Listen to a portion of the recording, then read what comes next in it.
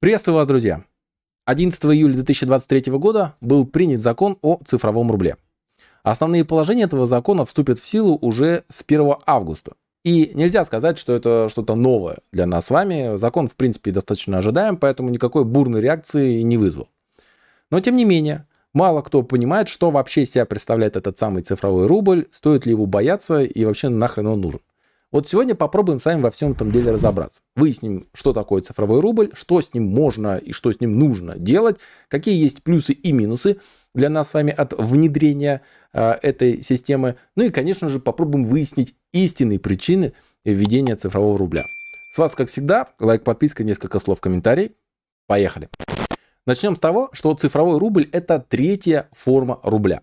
Сейчас у нас есть наличные, это банкноты и монеты безналичные, деньги на счетах и картах, а также в дополнение к ним появится еще одна третья форма. Цифровая форма нашего деревянного рубля. Технически он представляет собой уникальный цифровой код, который хранится в электронном кошельке на специальной платформе Центрального банка. Операции с цифровыми рублями также будут проходить на этой платформе. При этом доступ к цифровым кошелькам будет через привычные нам дистанционные каналы, а именно мобильные приложения банков и интернет-банкинг. Стоит отметить, что это не замена каких-то там цифровых либо бумажных носителей, это дополнение. Цифровой рубль создается прежде всего как еще одно средство для платежа и переводов. Поэтому в законе закреплено, что в цифровых рублях нельзя будет открывать вклад или получать кредит – а проценты на остаток средств в цифровых кошельках начисляться не будет. Можно ли цифровой рубль назвать криптой? Ну, в полном смысле нет, потому что есть здесь принципиальные вещи, которые отличают цифровой рубль от крипты. В первую очередь это наличие эмитента. У криптовалюты нет эмитента и не существует единого центра. Для цифрового рубля эмитент есть. Это Центральный банк Российской Федерации. Да, в технологиях цифрового рубля должна применяться или применяется система реестра, распределенного реестра или, попросту говоря, блокчейн. Применяется ли она в этот раз? Тут, честно говоря, вопросы, мы к этим вопросам еще вернемся. Что можно будет делать с цифровым рублем? Ну, по большому счету, почти все то же самое, что и с обычными рублями, бумажными или либо безналичными. Но для начала стоит понять, что в схеме взаимодействия между людьми и организацией цифрового рубля будут задействованы уже имеющиеся коммерческие банки.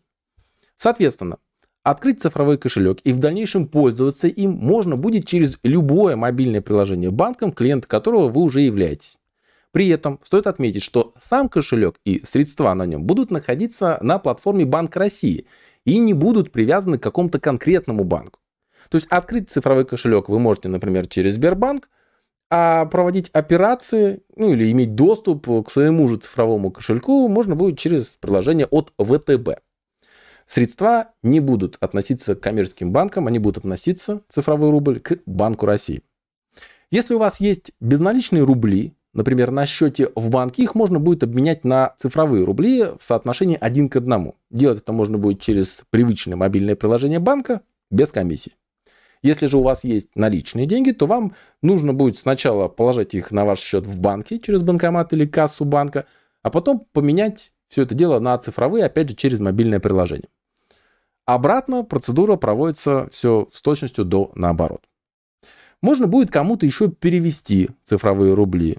Э, можно это будет сделать также через приложение банка. Там, в принципе, примерно так же, как и при переводе через СБП. А еще можно будет оплатить покупку. Для этого надо будет считать QR-код и в качестве средства платежа выбрать цифровой рубль. Позже ЦБ обещает внедрить систему NFC, то есть, в принципе, можно будет, наверное, с телефона пинь и все рассчитались. Но это пока э, в планах.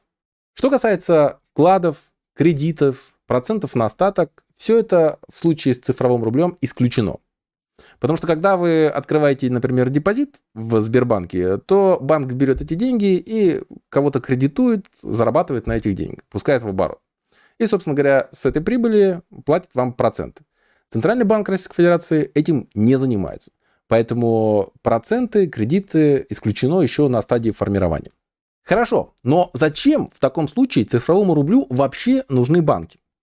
Банки здесь выполняют две важные функции – Первое – это идентификация клиента, и второе – это его привлечение. ЦБ в этом плане не работает. Но мы сами должны понимать, что банк – это только интерфейс.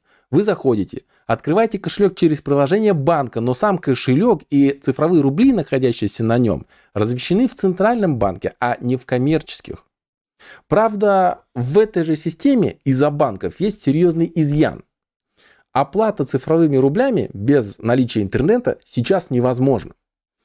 Вообще-то в концепции цифрового рубля банк во всеуслышание говорил, что мы можем переводить э, без наличия интернета. Но сейчас это невозможно, потому что вы просто не сможете открыть приложение э, своего коммерческого банка. В будущем ЦБ это планирует исправить, но пока даже близко не видно каких-то технических решений в этом направлении. Теперь давайте поговорим о страшилках. Страшилок много, недоверия тоже много. Это все понятно, особенно последние лет пять доверие, мягко говоря, ко всем государственным структурам было подорвано. Но первая страшилка, она звучит так, что нас всех ждет тотальная слежка за гражданами и их финансами. В ЦБ говорят, что объем информации о гражданах при операциях с цифровыми рублями не будет превышать объем информации, который уже установлен по операциям с безналичными рублями. То есть никакой другой большей слежки, чем уже есть сейчас, нас не ждет. Ну, как минимум по заявлениям ЦБ. Еще одна популярная страшилка заключается в том, что скоро отменят все другие рубли, будет только цифровой рубль, ни бумажных, ни безналичных. Ну, в общем, возьмут нас вот под такой цифровой колпак. ЦБ на это говорит, что сейчас, если вы не хотите э, переходить на цифровой рубль, то вас никто не обязывает. Э, граждане, как и сейчас, могут выбирать самостоятельно, какую форму рубля использовать. При этом, если вам кто-то, например, переведет цифровой рубль на ваш цифровой кошелек, то вы их тут же можете взять, перевести на свой банковский счет, можете даже снять наличку и, в общем-то, вообще по барабану. Ну, так сейчас заявляет Центральный банк. Э, как оно будет, ну, мы можем фантазировать на этот счет как угодно, но вот пока что имеем, то имеем. Ну и, собственно говоря, давайте к главным вопросам интересным. Да? Зачем тогда нужен цифровой рубль, если в принципе схема оплаты точно такая же? Покопавшись во всем этом материале, я хочу сказать, что введение цифрового рубля даже на данном этапе больше дает плюсов государству, нежели, собственно говоря, гражданам или бизнесу. Если глобально говорить, то, конечно же, для государства это контроль денежных потоков. То есть центральный банк будет как бы видеть все, что творится в кошельках людей и организаций. Но чтобы граждане пользовались цифровым кошельком, надо, чтобы это было выгодно для них, чтобы они туда пошли. Мало того, чтобы было выгодно, так еще чтобы доверие к этому цифровому кошельку было. А с этим у нас проблемы. Но давайте вот взвесим все за и против, да, начнем с положительных качеств. Что, какие плюсы э, нас ожидают, если, и не если, а когда цифровой рубль введут, так сказать, полноценно? Ну, во-первых, это снижение издержек. Это действительно плюс. А, до 300 тысяч рублей в месяц можно будет переводить без всякой комиссии, а если больше, то комиссия существенно ниже, чем в любом сейчас коммерческом банке. Это, конечно, хорошо, но, откровенно говоря, это не такие большие объемы, да, чтобы было сильно уж выгодно. Возможно, для организации, да, как посчитали некоторые агентства, например, ритейлеры будут экономить не менее 80 миллиардов рублей в год на снижение транзакционных издержек. Но 80 миллиардов рублей в год для всего сектора ритейла это на самом деле не так уж и много. И, возможно, не все готовы пожертвовать прозрачностью за такие относительно небольшие деньги. Есть еще один плюс. Это создание смарт-контрактов. Например, вы заказали себе изготовление, не знаю, бани построить, да? Вы заключаете смарт-контракт э, через цифровой рубль, и вы вроде бы перевели эти деньги, да, они у вас как бы есть, это видит э, производитель, но он их не получает на свои счета до тех пор, пока, грубо говоря, не будет сдан объект. Здесь тоже ничего нового, потому что смарт-контракты существуют, да, и банковские ячейки существуют, сами смарт-контракты уже существуют, поэтому никакой инновации здесь нету, так что плюс да, но плюс сомнительный. Кроме этого, цифровой рубль может помочь обходить ограничения при заграничных расчетах. То есть, грубо говоря, обойти вот ту самую блокировку SWIFT. Здесь, да, плюс, но пока большие вопросы, как это будет выглядеть, потому что надо, чтобы на той стороне кто-то цифровой рубль принял. Здесь тоже а, как идея хорошо, но, знаете ли, с 1 августа уже вступает положение, так что время для идей точно прошло. Давайте теперь о минусах. Первый минус, который приходит на ум, это банки, которые будут терять прибыль. Да, то есть все те, кто уходят от банков и уходят в сторону значит, э, цифрового рубля, теперь банки не будут зарабатывать на этих денег.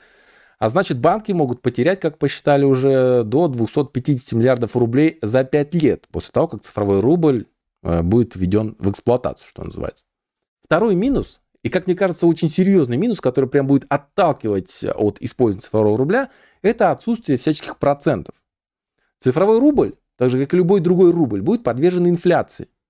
И технически, что вы держите цифровой рубль на счете в Центральном банке Российской Федерации, что вы держите бумажный рубль в банке, возможно, в центральной банке вашего, вашей квартиры, и, э, и те, и те рубли будут э, подвергаться инфляции и будут дешеветь с каждым днем. Так что цифровой рубль это по большому счету только лишь средство платежа и средство расчетов. Это не средство сбережений и средство накоплений. Это огромный-огромный жирный минус. Теперь давайте подумаем и сделаем выводы, к чему все это дело может привести. Вы тоже, кстати, можете высказать свое мнение. В комментарии, пожалуйста, напишите. Мне очень любопытно почитать все, что вы думаете на этот счет. По пути не забудьте там, кстати, поставить лайк.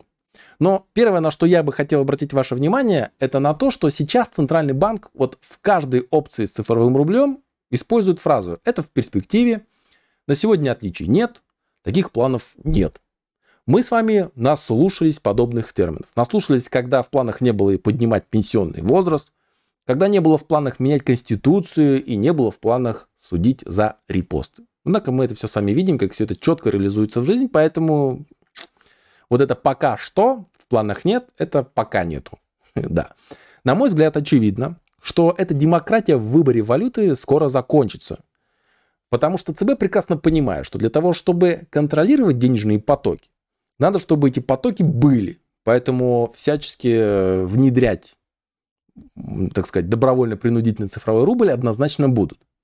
И быстрее всего будут э, вводить всю эту историю у бизнеса, в бизнесе. Сначала будут говорить а, об удобности заключения э, контрактов и госконтрактов, а также об, э, об удобствах э, при оплате, например, налогов. Вот, в цифровом рубле платить налоги быстрее, может быть, даже выгоднее. А потом и вовсе будут принимать налоги только лишь в цифровом рубле и заключать смарт-контракты исключительно с привлечением цифрового рубля. Надо же как-то контролировать потоки. Надо. Вполне возможно, что и бюджетников переведут на цифровой рубль. Так же, как это, например, было сделано с платежной системой МИР. Раньше она тоже позиционировалась как дополнение к визе и к MasterCard, но еще до блокировок визы и MasterCard это стала обязательная история для всех бюджетников. Я просто представляю, как теперь учитель преклонных лет э, значит, вводит белым мелом по деревянной доске в старой обшарпанной школе, но зарплату получает цифровыми рублями. Причем сначала скажут, что нет-нет, мы не заставляем вас пользоваться цифровыми рублями, вы можете пользоваться чем хотите, ради бога. Но просто государству так выгоднее, государство так экономит, когда платит из бюджета без комиссии, поэтому получайте цифровой рубль, а куда и как вы его потом потратите, это мы внимательно посмотрим. Что касается физиков, ну, простых физиков, которые покупают картошку через QR-код в терминале, да, для них ничего не изменится. Знаете ли, не те потоки, которые нужно отслеживать. Так что если у вас э, нету миллиардов на, счетов, на счетах, то париться, как мне кажется, не стоит. И вполне возможно, это будет даже удобно для вас. Но вот что точно не решит цифровой рубль, так это проблемы с коррупцией. А ведь именно решение вопроса коррупционного э, продавалось нам для необходимости внедрения цифрового рубля. Но я на данном этапе, пока разбирался в этом вопросе, не вижу вообще никаких механизмов. В концепции цифрового рубля, который публиковался в августе 2021 года, на этом канале мы разбирали эту самую концепцию, там была э, система распределенного реестра или так называемого блокчейна. Когда я готовился к этому видеоролику, я почитал все законопроекты, почитал многие комментарии непосредственно от Центрального банка Российской Федерации. И знаете что? Ничего о блокчейне я там не увидел. Никакого распределенного реестра. Ну нету. В законопроекте нету фразы распределенный реестр и тем более уж там блокчейн. Если я ошибаюсь, и все-таки система распределенного реестра есть, то тогда действительно можно будет говорить о том, что здесь есть механизм борьбы с коррупцией.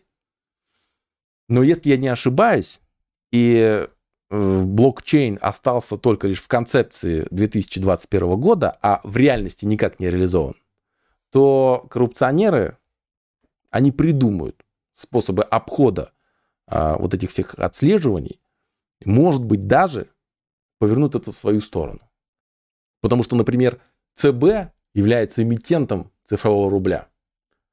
Что мешает очень быстро имитировать или абсорбировать валюту? Главное договориться.